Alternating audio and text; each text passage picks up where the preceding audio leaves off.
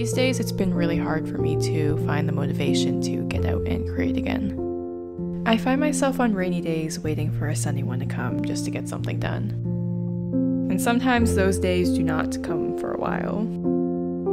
I've always hated the cold, so I always dreamt of living somewhere hot. Then I remember how much I hate the heat sometimes. I know eventually I'd get sick of that too.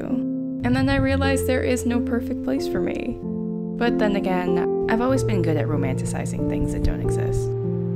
I was having a conversation with my aunt the other day, thinking that she'd agree that winter sucks. I asked her what her favorite season was, and she said she liked all of them. She says each season has its own beauty. I wish I was mature enough to look at it that way, because honestly, I still really hate fall.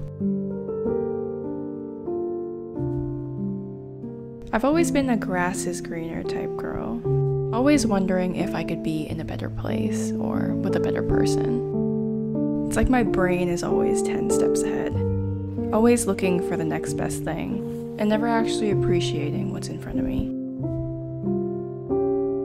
I saw this quote the other day from this cute author named Soyan.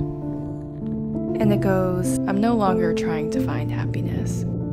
I just appreciate where I am, and happiness finds me.